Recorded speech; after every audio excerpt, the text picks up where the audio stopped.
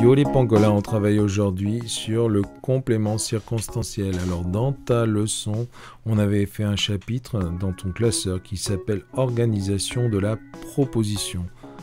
On avait parlé de la fonction sujet, on a parlé de la fonction COD et COI, ça c'était le numéro 2. Là on est au numéro 3, la fonction complément circonstanciel.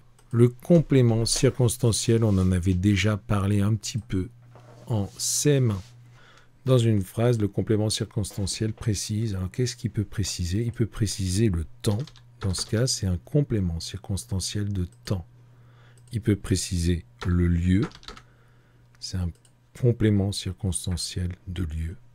Il peut préciser la manière. Alors il y a plein d'autres compléments circonstanciels de but, de cause, etc. Tu les verras au collège. Nous, en CM2, on reste sur le complément circonstanciel qui précise le temps, le CCT, le complément circonstanciel qui précise le lieu et celui qui précise la manière. Le complément circonstanciel, et là je t'invite à regarder la vidéo de Maître Jack que je vais mettre aussi en lien, on peut souvent le déplacer et même le supprimer ce n'est pas un groupe essentiel. Alors il arrive qu'il soit essentiel. Des fois, on ne peut pas le supprimer. Si par exemple tu dis euh, je vais à l'école, tu ne peux pas enlever à l'école. Ça te donne des renseignements sur le lieu, mais tu ne peux pas dire je vais. Mais si tu dis euh, je fais du vélo dans les bois, le groupe dans les bois qui te donne des informations sur l'endroit où tu fais du vélo, tu peux le supprimer. Tu dis je fais du vélo. Alors évidemment, on saura moins de choses. On ne saura pas que tu fais dans les bois, mais la phrase a un sens. Alors que je vais n'a pas de sens. Donc on peut souvent le déplacer ou le supprimer.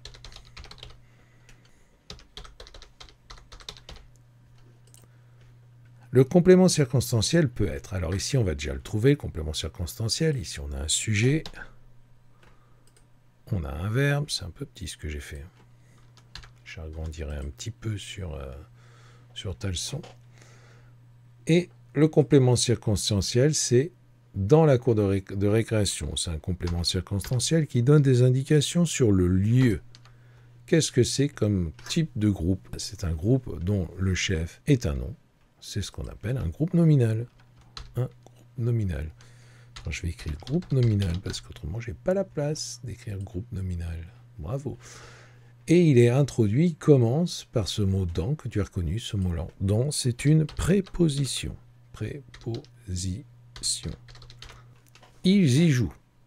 On trouve le sujet, on trouve le verbe, et ici, on a notre complément circonstanciel. Alors, de lieu, de temps, de manière, si je dis ils y jouent, ce i nous donne l'endroit en fait où ils jouent. Eh bien, c'est un mot qui remplace dans la cour de récréation dans cette phrase. Tu vois, ils jouent dans la cour de récréation, ils y jouent.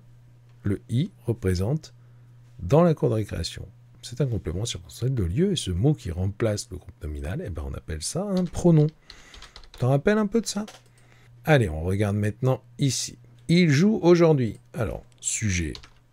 Il joue verbe. Et regarde, tu vois, on passe que sa tête. Sujet, verbe, c'est toujours pareil. Sujet, verbe. je te promets que pour toi, ce sera un peu plus grand. Hein. Je ne vais pas te le dire à chaque fois, mais là, j'ai prévu des cases un peu petites sur cette version-là. Il joue aujourd'hui. Ce groupe-là, nous donne des informations sur le temps, complément circonstanciel de temps. Il joue tranquillement. Ce mot-là nous donne des informations sur la manière, tranquillement, la manière dont il joue. Il joue dehors, nous donne des informations sur le lieu dehors. Donc c'est le complément circonstanciel de lieu. Alors maintenant, aujourd'hui, tranquillement dehors. Qu'est-ce que c'est que ces mots? Euh, Ces mots, si tu te rappelles bien, c'est des mots qu'on va trouver dans les mots invariables. Alors des mots invariables, on va en avoir pas mal qui sont des prépositions et on va en avoir pas mal qui sont des adverbes. Les adverbes sont des mots qui vont préciser la phrase, qui vont préciser un verbe ou même préciser un autre adverbe. On en parlera dans quelques temps, tu vois, des adverbes. Et en fait, ces mots-là, ils ne s'accordent pas. Hein. C'est vraiment des, des mots invariables. Donc voilà, aujourd'hui, tranquillement, dehors, ce sont des adverbes, et ces adverbes, ce sont des mots invariables. Il nous en reste un dernier. Il joue quand il fait beau. Alors, on a toujours notre sujet, on a toujours notre verbe, on a toujours la case où ça rentre pas sur cette version-là, mais toi, tu auras une version où ça rentrera dedans, c'est promis. Et on a ici quand il fait beau qui nous donne des informations sur quand ils vont jouer complément circonstanciel de.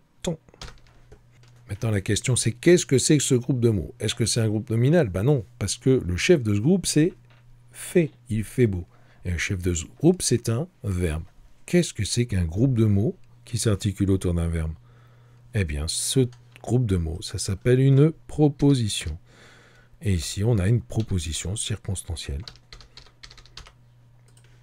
Alors, elles sont souvent introduites par des mots comme ça. Voilà, tu vois, quand.